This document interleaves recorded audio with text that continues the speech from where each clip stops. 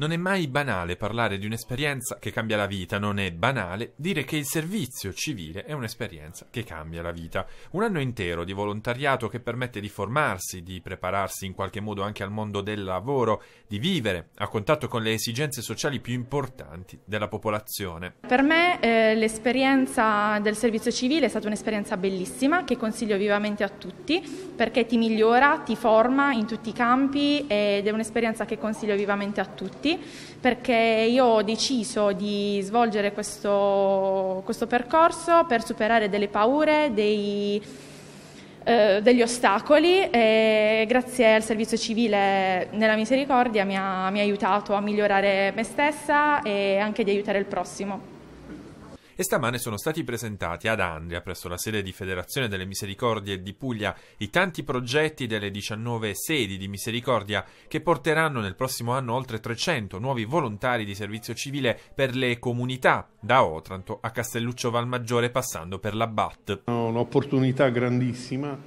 è un'opportunità che ci ha visto, ha visto nelle nostre realtà iscriversi poi ragazzi per continuare quella che è l'esperienza iniziale del servizio civile. Quindi è un momento importante che noi consigliamo a tutti i ragazzi per avvicinarsi non solo al, al mondo del volontariato ma anche al mondo del lavoro se vogliamo. Molti ragazzi che hanno frequentato il, col servizio civile le associazioni poi dopo hanno trovato la loro strada del futuro. Uno sforzo importante quello dei colori giallo-ciano in tutta Italia, con oltre 3.000 giovani che saranno accolti per questa esperienza. Nello specifico in Puglia saranno 251 i giovani selezionati con bando ordinario e 56 con bando di garanzia giovani. I servizi attivati riguardano le tantissime attività messe già in campo quotidianamente dalle misericordie, sia in ambito sociale che di protezione civile, ma ci sono tanti nuovi progetti. Gli aspiranti operatori volontari devono presentare la domanda di partecipazione esclusivamente esclusivamente attraverso la piattaforma domanda online raggiungibile tramite PC, tablet e smartphone.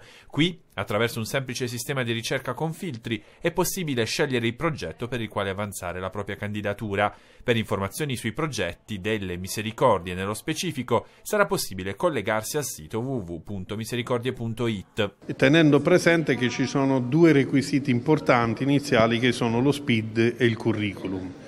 Dopodiché poi aprendo nella piattaforma le varie finestre poi si possono eh, osservare i progetti, il, la zona dove viene effettuato il progetto e quindi possono mh, mm, scegliere il ragazzo o la ragazza può scegliere quello che è il progetto più attinente e il luogo anche più idoneo.